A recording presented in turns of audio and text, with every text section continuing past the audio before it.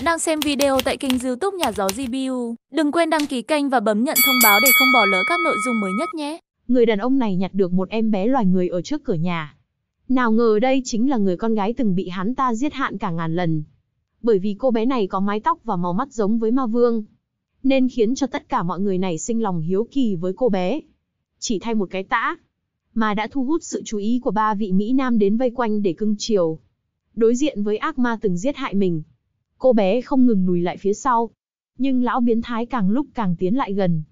Nào ngờ vừa mới chạm vào bàn tay nhỏ của cô bé một cái.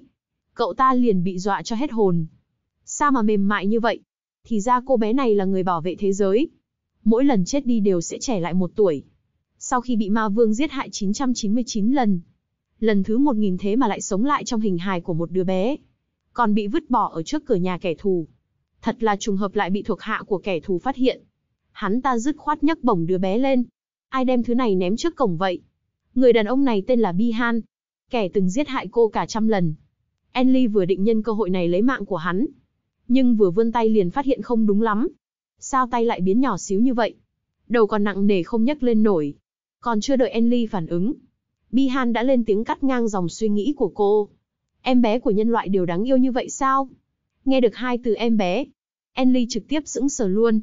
Nhưng Bihan lại vui vẻ đem cô bé vào trong phủ. Enly chán nản gục đầu. Đường đường là Bliss đại nhân lại bị sách đi như món đồ chơi. Lúc này, quản gia bước lên đón tiếp. Bihan vô cùng chờ mong nhìn về phía anh ta. Chờ được tuyên dương. Nhìn này, em bé. Đôi mắt đỏ rực cùng màu tóc bạch kim sáng chói. Rõ ràng giống hệt với chủ quân. Có lẽ là chủ quân lén sinh con ở ngoài. Phải đem nó đi gặp chủ quân. Biết được phải đi gặp ma vương. Enly lập tức cảm thấy không hay rồi. Vậy là tiếp theo cô phải đi gặp toàn bộ kẻ địch rồi sao? Bảo gồm 5 người được gọi là Hắc Hải Kiếm. Thuộc hạ của ma vương. Bọn họ là vũ khí để thống nhất thiên hạ của ma vương. Dựa vào tình hình hiện tại, chắc chắn cô phải tôn 10 năm nữa mới có thể đủ sức chống lại bọn họ. Lần này mà phải đối đầu với Hắc Hải Kiếm, thì cô lại phải hồi quy thêm một lần nữa rồi. Nói không chừng lần hồi quy tiếp theo, có khi sẽ trực tiếp biến thành trung tình mất. Enly theo bản năng bắt đầu chống cự. Nào ngờ lại không cẩn thận nắm lấy ngón tay của quản gia. Cảm giác mềm mại làm trái tim quản gia mềm nhũn. Anh ta vui vẻ nói với Bihan. Ngài nhìn này, nó nắm lấy ngón tay của tôi rồi. Thấy vậy Bihan lập tức nổi lên con ghen. Ta cũng muốn, ta cũng muốn nắm tay. Enly ngơ ngác. Lẽ nào cách này có tác dụng sao? Trước tiên cứ dựa theo mong muốn của bọn họ mà làm đi. Nói không chừng nếu mình ngoan ngoãn nghe lời, bọn họ sẽ không giết mình. Bihan được Enly nắm tay, vui vẻ như một đứa con nít được cho kẹo vậy. Hắn nở nụ cười tự mãn nói, con người ta ấy à, tội nghiệp quá nhiều, ngay cả một đứa trẻ cũng cảm thấy ta đẹp trai. Enly không dám tin. Ban đầu sao cô có thể bị cái tên thiểu năng này xử vậy? Mà Bihan mặc kệ lời can ngăn của quản gia. Cưỡng chế đem em bé đi gặp đại ma vương. Nhưng vừa mở cửa tiến vào, người bọn họ trông thấy không phải là ma vương, mà là một thành viên của Hắc Hải Kiếm. Warren. Vừa nhìn Enly đã nhận ra. Lần thứ 1000 là kẻ này đã kết thúc cuộc đời của cô. Cảm giác ấy Enly còn nhớ tới tận bây giờ. Tên này chắc hẳn là một phiền phức lớn. Có lẽ có chút tò mò với một đứa trẻ. Warren lần đầu tiên lộ ra nụ cười. Thấy vậy, Bihan lần nữa muốn Enly cũng hắn ta biểu diễn trò nắm tay. Để bảo vệ mạng nhỏ. Enly không tình nguyện mà nắm lấy ngón tay hắn ta. Warren đứng bên cạnh lập tức bị sự đáng yêu kia ảnh hưởng. Cũng vô thức mà vươn tay ra. Ta cũng rất muốn được nó nắm tay. Nào ngờ còn chưa bắt đầu đã bị Bihan ngu ngốc cắt ngang rồi. Ngươi nhìn xem, có phải nó giống hệt với chủ quân không? Chỉ thấy đứa bé trong lòng Bihan lần nữa vung vung tay nhỏ. Các ngươi mù à? Nhưng đến khi bản thân cô trông thấy chính mình trong gương, lập tức bị dọa ngốc luôn. Vì sao cô lại biến thành bộ dạng này rồi? Lúc này, cánh cửa phòng tắm đột nhiên được mở ra. Enly trong hình hài em bé bị dọa tới suýt tè ra quần. Là kẻ đó. Công tước của đế quốc. Cũng chính là vua của ma giới. Adrian Lucas Brand. Cũng chính là người đã giết cô cả ngàn lần. Vừa nhìn thấy một đứa nhóc. Lucas liền lên tiếng hỏi. Đây là thứ gì? Bihan còn cho rằng chủ quân đang giả ngốc. Trực tiếp đưa đứa bé tới trước mặt gã. Chủ quân, có phải người lén sinh con bên ngoài không? Sắc mặt đại ma vương lập tức đen thui. Hắn chuẩn bị bùng lên lửa giận. Nhưng Bihan ngu ngốc còn chưa nhận ra. Không ngừng nhảy nhót ở giới hạn của chủ quân. Cuối cùng Lucas cũng mở miệng. Đừng phí lời nữa, Bi Han, Đem vứt đi. Nghe vậy Bi Ha không hiểu hỏi. Sao lại vứt đi? Bên ngoài đang lạnh lắm đó. Ném ra ngoài chắc chắn nó không sống nổi qua đêm nay. Đối với một loại thao tác này của hắn Enly cũng cạn lời. Cái tên cuồng vọng này. Ma vương thì sao chứ? Nghĩ xong Enly liền vươn tay nhỏ. Muốn bóp chết ma vương. Nhưng hình ảnh này trong mắt ba tên đàn ông kia. Lại giống như đang tỏ ra dễ thương. Lập tức khiến mọi người cảm thấy. Có lẽ đứa bé này muốn được ôm. Một giây trước bé con còn đang đấu tranh trước cái chết. Giây tiếp theo liền bị đại ma vương ôm vào lòng. Tôi thu lại những lời vừa nói. Trước khi tìm hiểu rõ nguyên nhân về cặp đồng tử màu đỏ của nó, thì để nó ở trong phủ đi. Enly không tin vào tay mình. Tình huống gì đây? Ma vương vừa nói gì vậy? Chính vì gã. Cuộc sống của cô, hạnh phúc của cô, toàn bộ đều bị phá hủy. Nhưng vì sao lần này hắn ta lại cảm thấy thương tiếc cho cô? Đợi đến khi lần nữa mở mắt, trước giường đã xuất hiện rất nhiều người hầu đến để chăm sóc cho Enly. Trong lòng Enly cảm thấy không thoải mái. Chuyện hồi quy đáng ghét này, là bởi vì cơ thể càng nhỏ thể chất càng yếu sao? Chỉ có chút căng thẳng liền dễ dàng mệt mỏi. Vú em thấy vậy vội vàng kêu mọi người ra ngoài. Sau đó dùng tay nhẹ nhàng xoa đầu Enly. Trong phủ lần đầu tiên xuất hiện một chủ nhân nhỏ tuổi như vậy. Những đứa trẻ khác tới đều được đưa tới ký túc xá để huấn luyện. Bên trong đó có rất nhiều đứa trẻ mồ côi sống. Bọn chúng phải trải qua huấn luyện tàn khốc. Cuối cùng trở thành cỗ máy chiến đấu hình người của chủ quân. Nhưng nếu năng lực không đạt yêu cầu, sẽ bị đuổi ra ngoài hoặc giết. Nhưng tôi sẽ chăm sóc cho ngài thật tốt. Nói không chừng chủ nhân sẽ không nỡ đem ngài vào đó. Enly kinh ngạc mở to hai mắt. Lần sống lại này thật kỳ quái. Sao mọi người đều đối xử tốt với cô như vậy? Rất nhanh một tuần đã trôi qua. Enly cảm thấy bản thân cứ như vậy lãng phí thời gian trên giường không phải là cách hay. Cô phải nhanh chóng tìm cách. Giết ma vương. Mặc dù hiện giờ không thể dùng ma pháp trước đây. Nhưng cặp mắt nhìn ra vạn dặm của Enly vẫn còn. Cô nằm một chỗ cũng có thể nhìn thấy những nơi khác trong phủ ma vương. Nói không chừng dùng cách này có thể tìm ra bí mật của Lucas. Nhưng khi cô nhắm chặt mắt chuẩn bị dùng năng lực, cánh cửa đột nhiên bị mở ra. Warren đen mặt bước tới. Enly nghi hoặc, vì sao hắn ta cứ nhìn mình chằm chằm vậy? Lẽ nào hắn ta tra ra thân phận thực sự của mình rồi? Trông thấy ngón tay của Warren càng lúc càng gần. Trong đầu Enly nhanh chóng xoay chuyển. Cô cho rằng Warren muốn cùng ngón tay kia chọc thủng cổ cô. Enly thầm tính toán. Trước khi bị hại, cô nhất định phải bẻ gãy ngón tay hắn ta. Vậy là Enly vươn tay, túm lấy ngón tay Warren, dùng sức lực ăn sữa của mình vặn ngón tay. Nhưng nào ngờ Warren lại lập tức lộ ra biểu cảm vừa lòng. Enly còn đang âm thầm vui vẻ trong lòng. Lẽ nào hắn ta bị sức lực mạnh mẽ của mình dọa sợ rồi sao? Nhưng, vì bản thân dùng sức lực quả lớn, Enly lần nữa ngủ thiếp đi. Mà Warren nhìn ngón tay của bản thân rơi vào trầm tư. Quả nhiên bản thân hắn ta không thể dùng cách đối xử với những đứa trẻ khác để đối xử với đứa trẻ này. Lẽ nào bởi vì nó có vẻ ngoài giống chủ quân sao? Hơn nữa lần đầu tiên chủ quân đưa ra quyết định như vậy. Lẽ nào vì ngài ấy yêu thích nó sao? Còn chưa đợi Warren kịp phản ứng, thì giọng nói của ma vương đã vang lên. Trả lời câu hỏi của ta. Vừa rồi người đã đi đâu? Warren lúc này mới sực tỉnh. Hắn ta vội vàng giải thích. Thuộc hạ vừa rồi tới nhìn Enly. Ma vương vẫn giữ sự nghi ngờ đối với đứa trẻ đó. Làm sao có thể chứng minh được đứa trẻ kia không phải do kẻ thù của gã? Cây Ariher phải tới. Warren giống như một đứa trẻ phạm lỗi. Tự trách bản thân. Xem ra đúng là hắn ta lơ là rồi. Cây Ariher là sự tồn tại uy hiếp tới chủ quân. Đứa trẻ đột nhiên xuất hiện này. Có thể là gián điệp mà cây Ariher phải tới. Mà cái tên Enly của đứa trẻ này. Mang hàm ý, thao túng và phục tùng. Nhưng những người khác hiển nhiên không nghĩ sâu xa như vậy. Bihan lại hấp ta hấp tấp chạy tới tìm Enly. Ta có thể cưỡi ngựa cùng con bé không? Vu em lập tức liền từ chối lời đề nghị này của hắn. Enly đại nhân còn quá nhỏ. Bihan vẫn như cũ không chút lung lay hỏi. Vậy tuần tới có được không? Nếu không được vậy thì sang năm. Enly cảm thấy cạn lời. Đúng là cái đồ thiểu năng. Cô vươn tay ra hiệu cho Vũ em. Bản thân muốn tè. Nhưng âm thanh trẻ con non nớt phát ra từ miệng Enly. Thế mà vú em có thể nghe hiểu. Trời ạ, Enly đại nhân vừa nói ngài muốn đi tè sao? Enly đại nhân của chúng ta đúng là quá thông minh. Nhưng xin ngài đừng có trưởng thành nhanh quá. Tôi thực sự muốn thay tã cho ngài cả đời.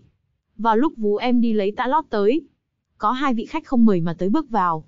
Hai người bọn họ cũng là hai thành viên của Hắc Hải Kiếm. Tóc đỏ tên là Ba Ba Cha còn vị tóc màu cam tên mà Mikala. Những ký ức bị bọn họ hành hạ vẫn hiện lên trong đầu Enly như mới hôm qua. Vừa trông thấy một đứa bé. Ba Ba Cha liền tiến lại gần. Đúng là giống hệt với chủ quân. Hành động này của cậu ta dọa cho Enly run lên bần bật. Ba cha vừa nói vừa vươn tay về phía Enly. Enly sợ hãi lùi lại. Nhưng không ngờ chỉ vừa mới chạm vào bàn tay mềm mại của cô. Ba cha đã bị dọa cho hết hồi vội vàng lùi lại. Sao nó lại mềm hoạt vậy? Mick Aller nhìn một màn này. Liền cho hắn một cái trợn trắng mắt. Đương nhiên là mềm rồi. Nó là em bé mà. Nghe vậy ba cha thắc mắc. Em bé đều như vậy cả sao? Còn có chảy nước miếng nữa. Enly ngượng ngùng lau nước miếng. Không ngừng oán trách cái cơ thể đáng ghét này. Mới mất tập trung một cái nước bọt liền chảy ra. Nhưng hành động này lại làm Mick Aller chú ý. Đứa bé này hình như nghe hiểu những gì chúng ta nói. Đứa trẻ như vậy sẽ được gọi là thiên tài. Nghe vậy ba cha lập tức nổi lên hứng thú. Còn hỏi Enly có muốn nắm lấy rìu của cậu ta không? Cái thứ này chạm vào cổ một cái là đầu bay xa luôn. Enly không hề sợ hãi mà bật cười.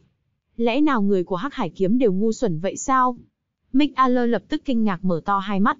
Dùng gương mặt của chủ quân cười như vậy. Hay là để tôi nhận nuôi đứa trẻ này đi? Đúng là quá đáng yêu. Ba cha vừa nghe đã ngay lập tức phản đối. Nuôi cái gì mà nuôi? Người đã nuôi sống được thứ gì chưa? Nhưng Mick Aller chẳng thèm nghe lời khuyên can này. Trực tiếp ôm lấy Enly vào lòng cọ cọ. Nhưng giây tiếp theo, y liền lộ ra ánh mắt của ác ma. Nghe nói có khả năng nó là gián điệp do cây Ariher phái tới. Có thể sau khi nó trưởng thành sẽ mê hoặc trái tim chủ quân. Sau đó dùng kiếm đâm vào trái tim của ngài ấy. Vừa nghe được lời này Enly trực tiếp sững sờ. Không hổ là Mick Aller. Vô cùng thông tuệ sắc sảo. Nhưng giây tiếp theo ba cha lại cướp lấy Enly. Người suốt ngày chỉ biết giết chóc chứ có nuôi sống được cái gì đâu. Mick Aller lập tức phản bác. Y biểu thị bản thân từng nuôi dưỡng vô số loài hoa dũng mãnh. Chính vào lúc hai người tranh luận, một nhân vật thần bí xuất hiện. Người này là Castiel, là người hoàn hảo cả về đầu óc và kỹ năng. Là đầu não cũng là đội trưởng của Hắc Hải Kiếm. Cũng là người luôn cản trở kế hoạch của Enly ở những lần hồi quy trước. Mặc dù những người còn lại trong Hắc Hải Kiếm nhìn đều có vẻ ngốc, nhưng người này rất có khả năng nhìn ra thân phận của Enly. Enly cảnh giác nhìn về phía anh ta. Nhưng mùi thơm ngọt ngào tỏa ra từ trên người Castiel hấp dẫn Enly. Mặc dù phán đoán rằng thứ đó có thể là thuốc độc, nhưng theo phản ứng tự nhiên của một đứa trẻ, Enly vẫn chảy nước miếng. Trông thấy Castiel vươn tay về phía mình. Cô cho rằng thân phận của mình bị phát hiện rồi.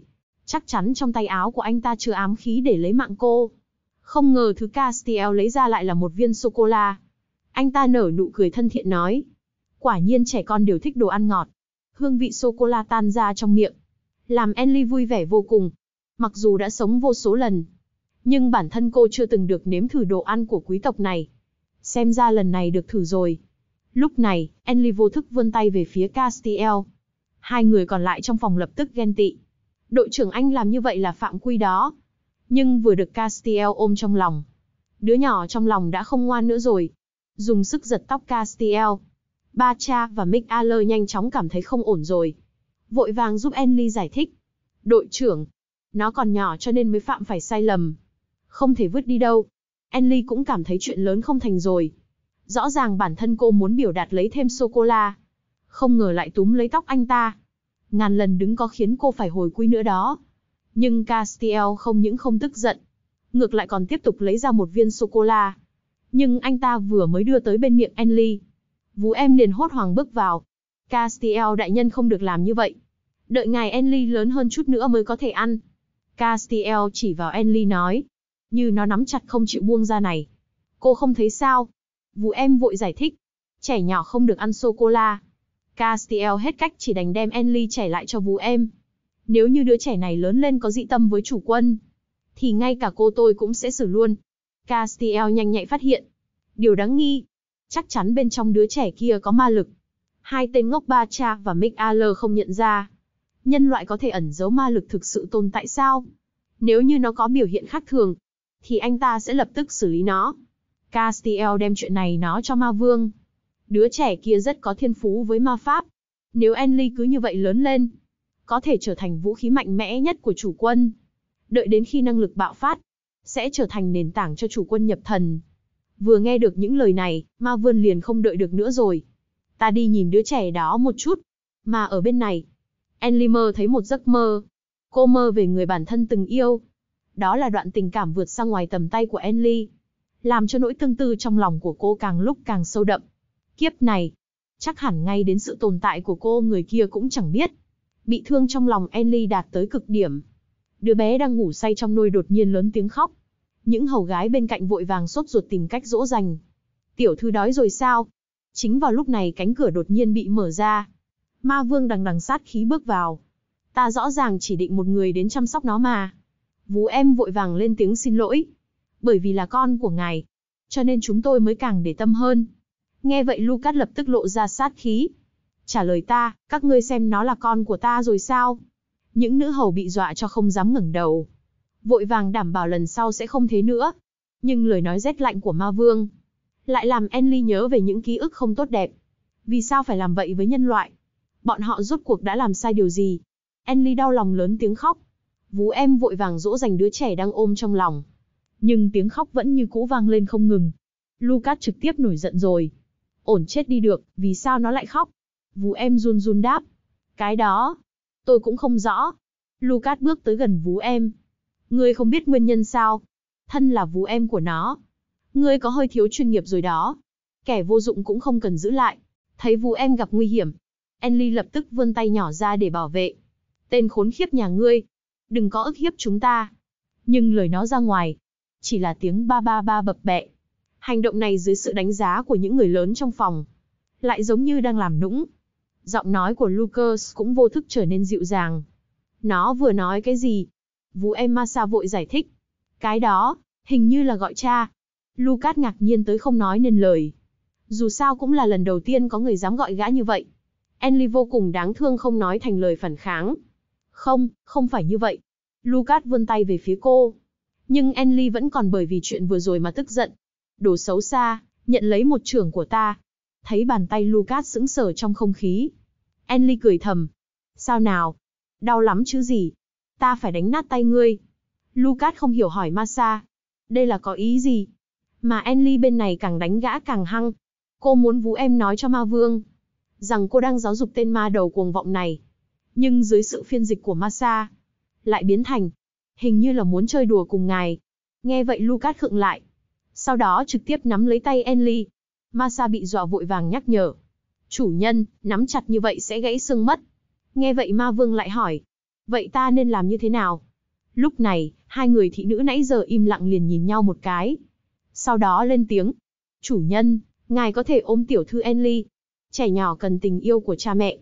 Nếu như không thể hình thành mối quan hệ gắn bó ổn định, sẽ có thể trở thành một đứa trẻ không có cảm giác an toàn. Còn hay khóc. Hiện giờ đứa trẻ này đang xem ngài là cha của nó. Enly bất lực gào thét. Mọi người bị điên rồi sao? Tôi không có cần. Nào ngờ Castiel lại chạy tới cho thêm náo nhiệt. Thuộc hạ cũng từng bế con bé. Rất mềm mại. Cảm giác không tệ. Enly dùng sức muốn tránh đi. Bản thân tôi tự tôi bảo vệ. Không ngờ Lucas đã vươn tay tới. Giây tiếp theo liền ôm lấy Enly vào lòng. Đáng ghét.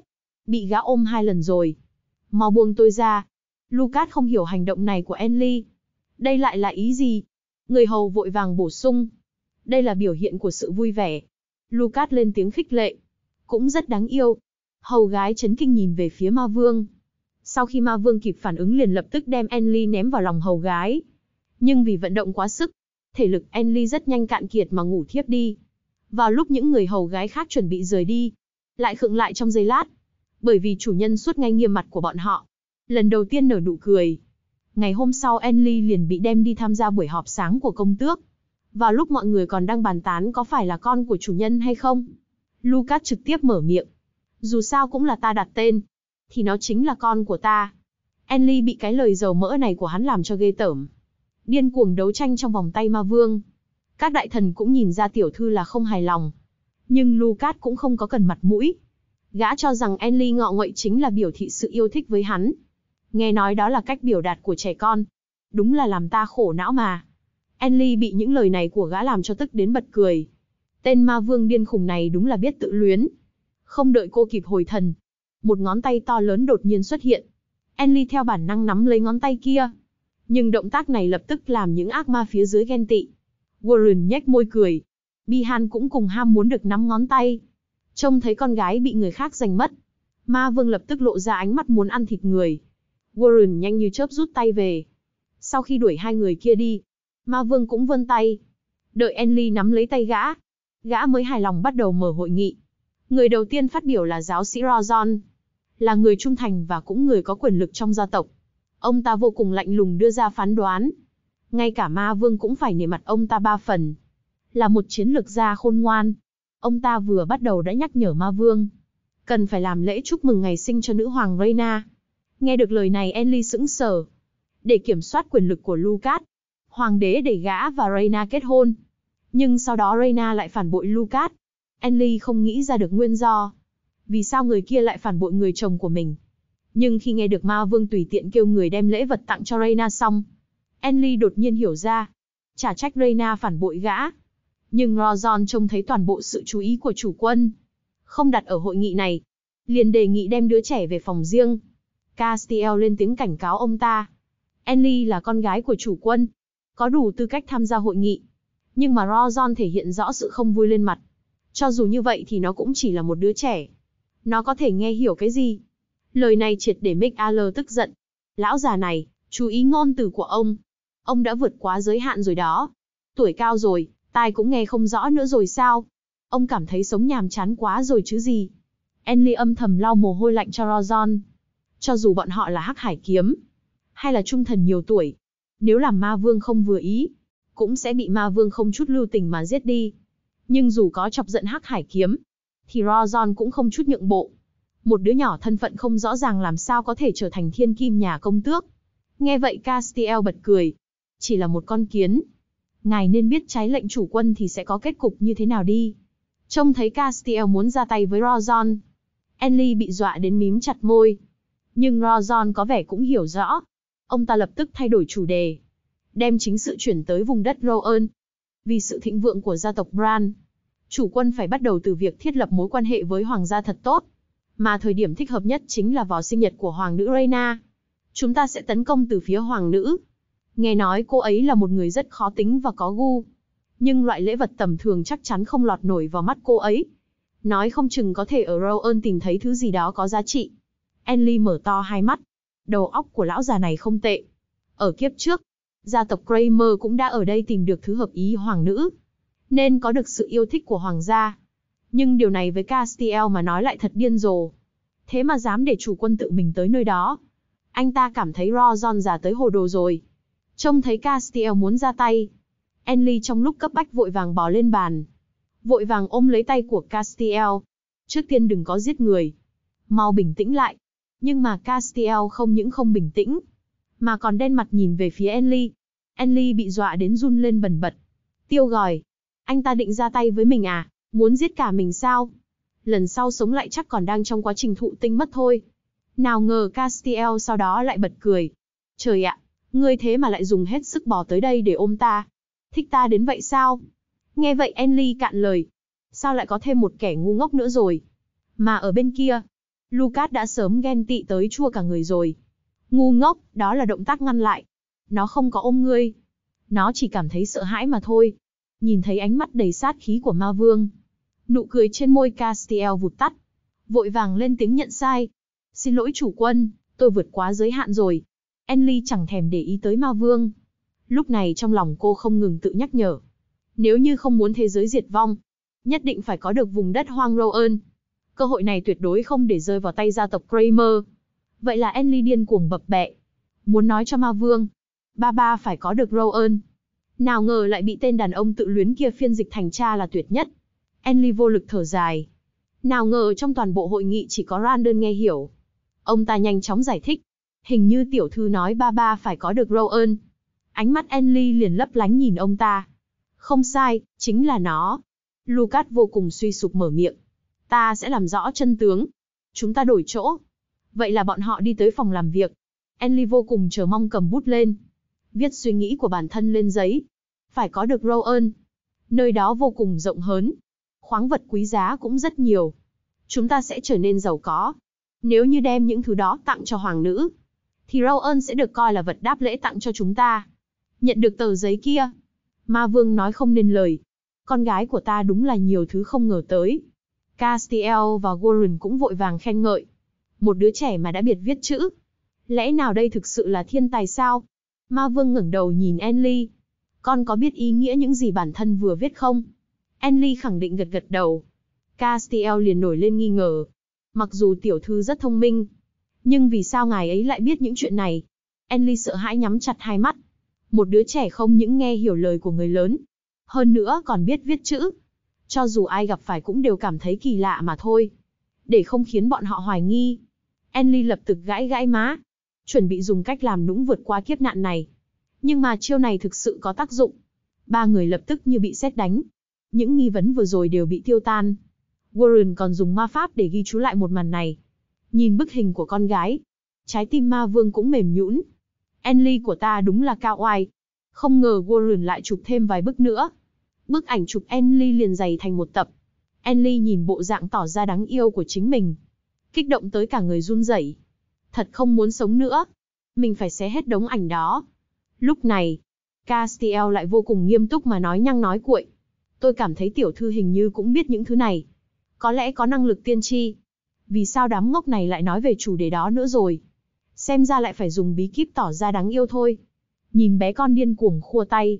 Một đám ma vương lại bắt đầu mê mang. Tiểu thư đang làm gì? Lẽ nào còn gì muốn nói sao? Nhưng dù sao cũng là trẻ con. Enly viết quá chậm. Xem ra cần tìm một người phiên dịch.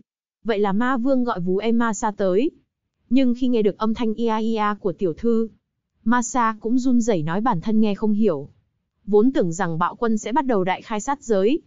Nào ngờ gã lại tỏ ra vô cùng bình thường. Biểu thị vú em cũng không phải vạn năng. Sự từ bi này của ma vương làm Enly cảm thấy vô cùng ngoài ý muốn. Lẽ nào đây là cùng một người với người hôm đó sao? Đột nhiên Castiel nở nụ cười bước vào. Người, thuộc hạ đã đem tới rồi. Enly nghi hoặc ngẩng đầu nhìn về hướng đó. Cái gì? Sao lại là cậu ấy? Đó là một đứa trẻ trong nhóm huấn luyện. Người duy nhất không phản bội Lucas. Giờ ô, mà trong tất cả thời gian mà cô hồi quy, cũng vô số lần cũng theo chiến đấu. Không ngờ nhanh như vậy đã phải đối mặt rồi. Vì sao ma vương phải tìm cậu ta tới đây? Enly còn chưa kịp phản ứng. Castiel liền chủ động giới thiệu. Đây là con gái bảo bối của chủ quân Enly. Việc ngươi cần làm là lý giải những gì tiểu thư nó. Thuộc hạ sẽ nỗ lực ạ. Nhưng suy nghĩ của trẻ con sẽ xuất hiện những sai lệch ngoài ý dự liệu. Cho nên có lẽ sẽ có sai số. Nghe vậy Castiel cười nhạt. Tiểu thư của chúng ta là thiên tài đã biết viết chữ. Đâu phải tên ngốc như Bihan. Vậy là tiếp đó. Zeo liền đảm nhiệm vị trí phiên dịch. Tiểu thư nói ở Rowan không chỉ có rất nhiều đá quý. Nơi đó còn là nơi sinh sống của vô số dị chủng. Thậm chí còn có cả tộc người lùn am hiểu chế tạo vũ khí. Nếu như có thể lôi kéo bọn họ, tương lai sẽ giúp đỡ rất nhiều cho chúng ta. Enly bị kinh ngạc tới không nói nên lời. Thế mà nghe hiểu được nhiều như vậy. Khẳng định là không sai. Đây là năng lực thuần phục giúp có thể giao tiếp với vô số loài sinh vật. Mà loại thiên phú thuần phục này, đều là bẩm sinh. Bọn họ từ nhỏ đã có thể nghe hiểu những âm thanh của động vật. Lúc này, trong lòng Enly đã lên xong tính toán. Nếu như có thể kéo cậu ta về đội của cô, thì chuyện đánh bại ma vương chỉ là một sớm một chiều. Nhưng nghe được những lời này, Lucas lại nổi lên sát ý, thế mà dám lấy con gái của ta làm cái cớ để nói dối. Theo những thông tin ta được biết thì tộc người lùn đã chết rồi. Lúc này trong lòng Enly cũng toát mồ hôi lạnh. Ma vương nói không sai. 150 năm trước tộc người lùn đã bị diệt vong. Những người còn sống sót cũng bị giam giữ trong hầm ngục. Trở thành nô lệ cho quý tộc. Điểm này thực sự làm người ta nghi ngờ. Nhưng nói đi nói lại. Không phải đều nói mình là thiên tài sao? Vì sao không chịu tin? Enly càng nghĩ càng giận. Một đám người đáng ghét. Chỉ có Theo là hiểu mình nhất. Mà người đọc hiểu nội tâm của tiểu thư. Theo. Lần đầu tiên cảm nhận được sự ấm áp. Nhưng cậu ta lại không dám mơ tưởng cảm giác này. Một người mới bước ra từ địa ngục như cậu.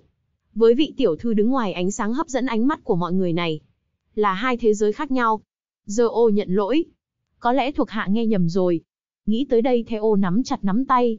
Sau này mình chỉ nên làm tốt công việc mình nên làm là được. Nhận ra sự thay đổi trong tâm trạng Theo. Enly vươn tay. Trực tiếp cho cậu ta một cái ôm. Theo bị dọa cho không biết phải làm sao. Mà Enly lúc này lại nở nụ cười vô cùng đáng yêu. Theo chúng ta ra ngoài đi. Đi ra vườn hoa đi dạo. Cậu bé lập tức biến thành kẻ nói lắp. ấp úng hỏi. Cùng, cùng tôi sao? Còn chưa đợi Enly trả lời. Castiel liền nhấc Enly lên thật cao. Gương mặt đang cười tươi của Enly lập tức cứng đờ. Cái tên rắc rối này ở đâu cũng xuất hiện. Không nhìn thấy cô đang câu dẫn dơ. Ô à, trông thấy một màn này. Ma vương tại đạp đổ bình giấm chua rồi. Gã hung ác nhìn Castiel. Ngươi ôm con gái của ta. Xem ra rất vui vẻ nhỉ. Castiel bị dọa đến hồn cũng bay đi mất. Vội vàng giải thích với ma vương. Bản thân đang bảo vệ an toàn cho tiểu thư. Mà Warren cũng giúp y phụ họa. Đội trưởng nói không sai. Tiểu thư của chúng ta không thể để tên nhóc kia lừa đi. Để phòng ngừa trường hợp mọi người đánh lộn. Enly lại phải sử dụng đại pháp làm nũng. Thấy vậy dơ ô vội phiên dịch. Tiểu thư nói, cha là ngầu nhất. Cuối cùng Lucas cũng được đắc ý một ngày rồi. Đây là sự thật. Nhưng dựa vào phát ngôn vừa rồi, ngươi cũng đã chứng minh được bản thân. Enly không nhịn được mà phì nhổ. Ma Vương đúng là tên tự luyến nặng. Nhưng bộ não của bạo quân rất nhanh đã trở về chuyện chính. Lại hỏi dơ ô vừa rồi tiểu thư nói gì với ngươi? Dơ, ô thành thật đáp. Tiểu thư nói, muốn cùng thuộc hạ tới vườn hoa đi dạo. Enly cười tươi như hoa. Chính là như vậy. Làm tốt lắm dơ ô. Chính vào lúc Enly vui vẻ nhìn về phía thê, ô, bạo quân lần nữa lộ ra sát ý. Ngươi nói cái gì? Con gái của ta đưa ra đề nghị cùng ngươi hẹn hò. Khi biết được con gái muốn hẹn thiếu niên kia đi hẹn hò, ánh mắt lão cha ma vương lập tức tràn ngập sát ý, tuyệt đối không được. Chuyện này không thể thương lượng. Enly không ngờ tới mở to hai mắt. người đang nói cái quỷ gì vậy? Ta còn là một đứa trẻ con này. Trông thấy thái độ của Lucas kiên quyết như vậy. Enly lần nữa phải tung chiêu làm nũng. Nếu ngươi không đồng ý để ta và thê, ô ra ngoài chơi, thì cả đời ta sẽ không gọi ngươi là cha nữa. Nói xong Enly liền tức giận quay mặt đi. Hừ, trước khi còn thể hiện cái gì cũng nghe theo ta đồ. Thì ra đều là giải. Vừa nghe, Lucas liền cảm thấy như xét đánh ngang tai. Con gái bảo bối thế mà không gọi gã là cha nữa, sau một hồi suy sụp. Đại ma vương chỉ đành lựa chọn thỏa hiệp. Thế Ô còn tưởng bản thân đang nằm mơ. Lần đầu tiên có người tìm cậu ta để tâm sự. Lại còn là đại tiểu thư mà cậu ta không dám nghĩ tới. Vậy là chàng trai nở nụ cười trước nay chưa từng có. Thiệt thòi cho tiểu thư rồi. Nhờ ngài mà tôi mới có cơ hội chứng minh giá trị của mình. Ánh mắt Enly tràn ngập nghi hoặc. Sao cậu ta lại vui vẻ như vậy? Lẽ nào trước nay cậu ta chưa từng nghĩ tới chuyện rời khỏi nơi này sao? Nhưng ánh mắt kiên định của Theo lại nói cho Enly biết. Bản thân cậu ta ở nơi này rất tốt. Cậu ta không muốn trở về những ngày tháng bị người trà đạp đó nữa. Trong lòng Enly không ngừng khâm phục chàng trai này. Kiếp trước, để trở thành thân tín của ma vương. Buông bỏ tất cả của bản thân. Thậm chí vì ma vương mà chết trận. Chả trách, còn nhỏ tuổi như vậy đã biểu hiện vô cùng thành thục. Trong lúc Enly suy tư, phía trước đột nhiên ló ra ba cái đầu vô cùng quen thuộc. Thì ra là nhóm người Lucas tìm tới đây. Castiel vừa xuất hiện đã tuyên bố tin tốt. Chúng tôi quyết định làm theo ý muốn của tiểu thư. Sẽ thu vùng đất hoang Rowan về tay. Thật, thật sự sao? Enly kích động tới muốn khóc luôn. Nhưng còn chưa có hết đâu. Castiel nhanh chóng biểu thị. Bắt đầu từ hôm nay, Theo sẽ trở thành hộ về riêng của Enly. Nếu Enly có bất cứ chuyện gì, thì Theo cứ chờ mà nhận lãnh hậu quả đi. Theo vô cùng cung kính hành lễ. Sau này tôi xin dùng tính mạng để bảo vệ tiểu thư. Kể từ ngày cậu ta bị Lucas đem về nơi đây, cậu đã làm xong tâm lý sẽ vì chủ quân mà dốc hết ruột gan. Lúc này, Đại Ma Vương lên tiếng cảnh cáo. Ta chỉ kêu ngươi bảo vệ con gái của ta, chứ không có giao nó cho ngươi. Enly cạn lời cho gã một cái mắt trắng. Nhưng thật mặt mọi chuyện vẫn thuận lợi theo kế hoạch. Tiếp theo chính là chinh phục Theo. Nghĩ tới chuyện nếu muốn có được trái tim của một người. Đầu tiên phải chinh phục dạ dày của anh ta. Chỉ cần chiếm được dạ dày của Theo. Thì chắc hẳn cậu ta sẽ bằng lòng theo mình đi. Cái này cho cậu ăn. Enly đưa tới một ly binh su. Vị dưa lưới. Vừa ăn một miếng. Theo vui sướng tới suýt nữa quỳ xuống. Enly vô cùng đắc ý. Mau ăn đi, mau ăn đi. Theo vội vàng cảm ơn tiểu thư. Từ khi gặp được tiểu thư, mọi chuyện đều trở nên tốt đẹp.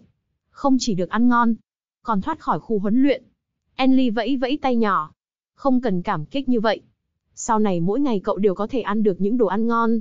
À đúng rồi, cậu còn chưa được ăn sô-cô-la nhỉ?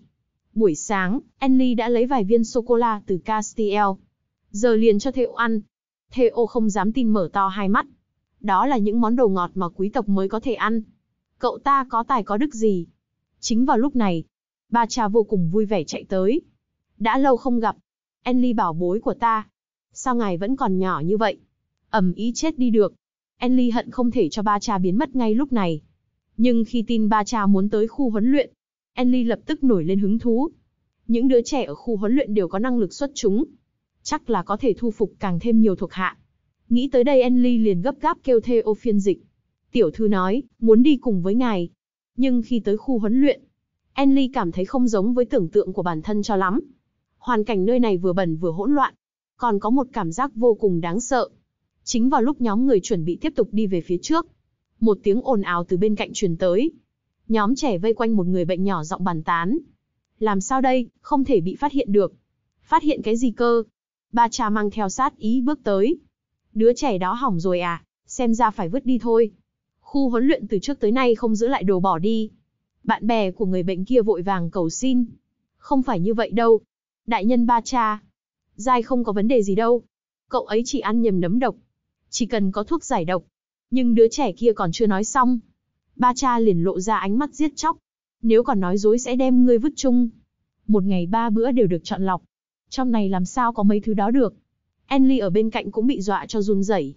Chuyện này rất thường xuyên xảy ra à, Theo, đúng vậy, nếu như không có cách nào để hồi phục, sẽ bị vứt khỏi lãnh địa của công tước. Trong lòng Enly cảm thấy buồn bã không thôi. Quả nhiên là như vậy. Đám người này làm gì có lòng tư bi. Bọn họ chỉ cần chọn ra người mạnh nhất mà thôi. Enly không muốn đứa trẻ kia cứ thế mà phải đối mặt với cái chết. Cô kêu Theo thả cô xuống đất. Dựa vào triệu chứng của người bệnh. Thì thực sự bị trúng độc rồi. Nhưng đây là cái gì? Enly đột nhiên ngộ ra. Thì ra người này tự ăn nấm độc. Nếu như có thể vượt qua, thì thực lực sẽ trở nên mạnh hơn. Bởi vì những đứa trẻ ở đây đều là cô nhi. Bọn họ đã chịu đủ cuộc sống bị người trà đạp dưới chân. Bọn họ biết bản thân phải mạnh lên với có thể sống sót. Lúc này, Enly rơi vào đấu tranh. Cô muốn dùng ma pháp để cứu người kia. Nhưng đồng thời làm vậy sẽ để lộ thân phận. Dù sao đây cũng là lần sống lại cuối cùng rồi. Trong lúc Enly do dự, người kia dùng chút sức lực cuối cùng giữ lấy Enly. Xin hãy giúp tôi với. Lời cầu xin này của người kia, làm lòng nhân tử trong Enly chiến thắng. Một chút thôi. Mình chỉ giúp cô bé một chút chắc là không sao. Qua vài giây, cô bé kia thực sự chậm chậm tỉnh lại. Enly lặng lẽ thở dài. Thật may không bị phát hiện. Tiếp đó, cô lại cảnh cáo ba cha. Đừng có ức hiếp những đứa trẻ ở đây nữa. Nếu còn dám tái phạm, ta sẽ đi mách tới Lucas. Đồng thời còn phải dọn dẹp sạch sẽ khu huấn luyện. Nếu không ta không yêu thích ngươi nữa đâu. Nghe được vậy ba cha lập tức điên cuồng nói. Đừng như vậy, ta đồng ý là được chứ gì. Enly nhếch môi cười đắc ý. Xem ra nhiều khi uy hiếp cũng có ích hơn làm nũng. Sau khi dùng ma lực cứu cô gái bị trúng độc kia, Enly bắt đầu cảm thấy lo lắng, mặc dù qua mặt được ba cha. Nhưng còn Theo thì sao? Dù khi đó cô dùng toàn lực để che giấu ma pháp, nhưng Theo lại đứng quá gần. Không biết cậu ta có phát hiện hay không? Chắc là không lén lút đi báo cáo cho Lucas đi. Chính vào lúc Enly còn đang suy nghĩ, cửa phòng đột nhiên bị mở tung. Lucas đem người bước vào. Thì ra gã đã nghe tin Enly đi tới khu huấn luyện. Đặc biệt tới để hỏi tội. Trông thấy chủ quân muốn nổi giận. Ba cha vội vàng giải thích bản thân muốn chơi cùng tiểu thư. Cho nên mới đem tới đó. Nhưng đáp lại cậu ta là ánh mắt đầy giận dữ của Lucas. Người cầm miệng cho ta. Sau đó, ma vương lạnh lùng nhìn Theo. Vì sao ngươi không ngăn tiểu thư đến nơi nguy hiểm đó? So với tính mạng của ngươi, thì sự an toàn của tiểu thư mới là ưu tiên hàng đầu. Thấy vậy Enly không tức giận nổi. Sao tên ma vương này lại đổ oan cho người khác nữa rồi? Theo đâu có làm gì sai? Tiếp đó, Enly dùng tay nhỏ vỗ vào vai Theo. Phiền cậu phiên dịch cho tôi. Tiểu thư nói, ngài ấy rất thích khu huấn luyện. Muốn thường xuyên tới đó chơi. Nghe vậy Lucas suýt tức tới ngất đi. Không được đi, ta không thích đứa trẻ không nghe lời. Trông thấy thái độ kiên quyết của ma vương. Enly không thể không sử dụng chiêu làm nũng. Cô một bên ôm gấu nhỏ một bên dùng ánh mắt lấp lánh nhìn về phía ma vương nói. Bởi vì nơi đó là do cha tạo ra. Cho nên con vô cùng thích. Thích tới mức muốn đến đó ở. Lời vừa nói ra. Nhóm ba người Lucas liền sốc toàn tập. Ma vương sau đó lộ ra biểu cảm hài lòng. Thì ra, thì ra Enly nhỏ của ta nghĩ như vậy à? Mick Aller nhanh chóng là một căn phòng cho tiểu thư ở khu huấn luyện. Enly vui vẻ tới muốn bay lên. Như vậy cô có thể cho đám nhóc ở khu huấn luyện ăn no mặc ấm rồi. Đem bọn họ nuôi dưỡng khỏe mạnh. Sau đó để bọn họ trở thành thuộc hạ của mình. Sau đó cùng những đứa trẻ đó tiêu diệt đại ma vương. Chính vào lúc Enly đang đắc ý mơ mộng. Lucas lại phá vỡ giấc mơ của cô. Nào, sắp xếp một căn phòng cho ta nữa. Cha phải sinh sống cùng một chỗ với con gái. Cái, cái gì cơ? Thật quá bỉ ổi rồi. Enly tức tới túm chặt gấu bông. Có ngươi ở đó ta làm sao có thể tự do và hòa bình để đám trẻ ở đó, nghe lệnh ta. Nghĩ tới đây Enly liền dùng toàn bộ sức lực để ngăn bạo quân lại. Ta muốn chơi cùng những đứa trẻ cùng tuổi. Sẽ không ở lâu. Cuối cùng đại ma vương thỏa hiệp. Enly cũng có được cơ hội sống một mình ở khu huấn luyện. Cô vui vẻ nắm chặt tay nhỏ. Một tuần tới cô phải thâu tóm toàn bộ nơi này. Việc đầu tiên sau khi đến khu huấn luyện mà Enly thực hiện chính là trùng tu nơi này, giảm thời gian huấn luyện, tăng thời gian nghỉ ngơi, còn thay một chiếc giường thoải mái cho những đứa trẻ ở đây. Thậm chí còn tăng thêm đồ ăn. Đem những món ăn đơn sơ nơi đây đổi thành sơn hào hải vị. Thời gian ngắn, Enly đã có được sự tin tưởng của toàn bộ những đứa trẻ ở đây. Enly hài lòng nở nụ cười. Đúng vậy, thứ mình muốn chính là như vậy. Để khiến cho mọi người càng tin tưởng mình. Thậm chí Enly còn kêu Theo nói cho bọn họ. Sau này sẽ không cắt giảm tài nguyên của mọi người, cũng sẽ không sợ bị vứt bỏ. Mọi người có thể yên tâm hưởng thụ cuộc sống.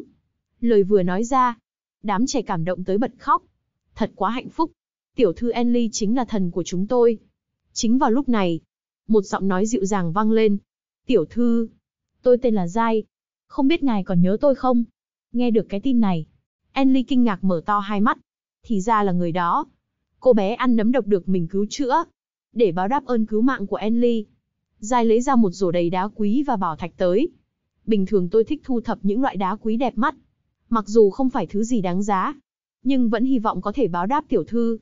Enly kích động nhìn về phía Di An. Đây đâu phải đá quý thông thường. Rõ ràng là trứng rồng mà. Không ngờ còn có thu hoạch ngoài ý muốn ở nơi này. Thật tốt quá. Chính vào lúc Enly âm thầm vui vẻ. Một cậu bé tóc vàng lên tiếng cắt ngang bầu không khí vui vẻ. Một đám ngu ngốc. Các ngươi không thấy cô ta đang chê cười chúng ta à?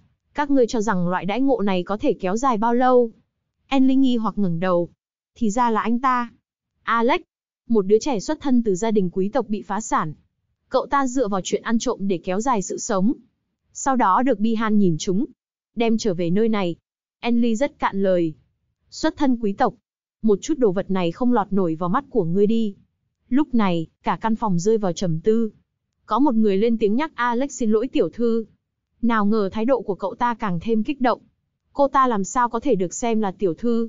Tiểu thư chính quy sẽ ăn mặc rách nát như vậy sao? Ngươi chỉ có số tốt, giạt trôi tới cửa nhà của chủ nhân trở thành tiểu thư mà thôi. Đều là trẻ mồ côi. Ngươi có gì khác với chúng ta đâu chứ? Thằng nhóc này, thế mà lộ ra ý đối địch rõ ràng như vậy. Xem ra không thích ta rồi. Dù có như vậy thì ngươi cũng chỉ là một đứa nhóc con. Tùy tiện làm mình làm mẩy đi. Nhưng Theo nhìn không nổi nữa. Sao ngươi dám dùng giọng điệu đó để nói chuyện với tiểu thư? Nhanh xin lỗi đi. Alex trông thấy Theo bước tới ngăn anh ta. Lập tức đem toàn bộ tức giận chuyển lên người cậu ta. Kẻ kiếm thuật thua kém ta như ngươi còn được chọn làm hộ vệ. Thì xem ra tiểu thư cũng chả bằng ai. Enly không tức giận vì thái độ trào phúng của Alex. Ngược lại còn lấy đồ ngọt từ trong túi lấy ra. Đừng giận nữa Alex. Thử ăn cái này đi. Đừng tức giận nữa. Chúng ta ở cạnh nhau hòa thuận đi. Trong giây lát Alex như biến thành người khác vậy. Lần gần nhất mà Alex được ăn sô-cô-la là được mẹ bón cho. Khi còn rất nhỏ, đoạn thời gian vui vẻ ấy không ngừng hiện lên trong ký ức. Đây đây là sô-cô-la. Enly nghe vậy vui vẻ hỏi. Anh biết nó đi. Vậy thì tốt quá. Cái này cho anh ăn. Chúng ta trở thành bạn tốt. Nhưng một màn này dưới góc nhìn của Theo. Lại làm trái tim cậu mất mát. Đây là thứ tiểu thư đã hứa cho cậu ta. Vậy mà giờ lại đem đi cho người khác. Theo không kiên nhẫn giúp Enly phiên dịch. Tiểu thư kêu ngươi ăn đi. Mà Enly cũng nhận ra Theo có gì đó sai sai. Nhưng còn chưa kịp phản ứng đã nghe Alex từ chối. Ta sẽ không bị mấy thứ này thu phục đâu. Nói xong Alex liền xoay người bỏ chạy ra ngoài. Không phải bỏ ra chút nỗ lực nào mà có thể trở thành con gái của công tước. Kẻ như ngươi, ta chắc chắn sẽ không công nhận đâu. Cảm ơn bạn đã xem hết video. Nếu yêu thích đừng quên like, share và để lại bình luận cho chúng mình biết nhé. Đừng quên đăng ký kênh để theo dõi các phần mới nhất nha.